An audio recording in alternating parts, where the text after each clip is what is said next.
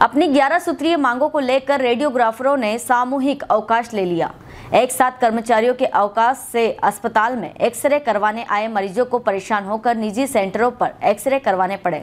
जिला अस्पताल में पदस्थ रेडियोग्राफर अनुप मंडलोई, अरविंद छेत्रे, नवीन डावर, अभिलेश मंडलोई, अखिलेश भालेकर, अजय छेत्रे आदि ने बताया कि प्रगतिशील रेडियोग्राफर्स संघ के बैनर तले लिए गए अवकाश की सूचना पूर्व में ही 23 जनवरी को स्वास्थ्य आयुक्त को दे दी गई थी। प्रदेश स्तरीय आंदोलन के तहत रेडियोग्राफर्स संघ के द्वारा उनकी 11 सूत्रीय मांगों का एक ज्ञापन हमने सिविल सर्जन को भी दिया गया था। मांग पूरी नहीं होने पर ज़िले भर के करीब 20 रेडियोग्राफर्स अवकाश पर है। यदि मांगे पूरी नहीं होती है तो 15 मार्च से अनिश्चितकालीन हड़ताल को बाध्य होंगे।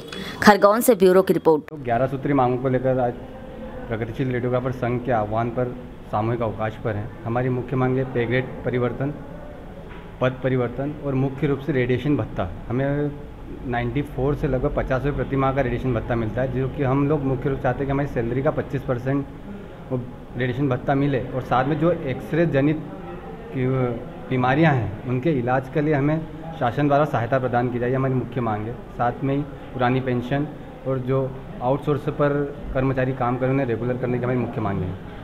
अगर ये मांगे प्रशासन हमारी पूर्ण नहीं करता है तो हम 15 मार्च से अनिश्चित में हड़ताल पर चले जाएँगे। रोज अस्पताल में कितनी जांचें होती है? अवकाश है क्या? प्रभाव होगा हम लोग प्रतिदिन डेढ़ सौ मरीज़ के लगभग एक्सरे करते हैं करते हैं जिसमें हम लोग सारे I P D O P D सारे एक्सरे निर्वहन करते हैं। कौन से मरीज़ आज ज़्यादा प्रभावित होंगे? आज आर्थो के ज़्यादा प्रभावित हुए हैं। क्या नाम है आपका? अभिलेष मंडलोई।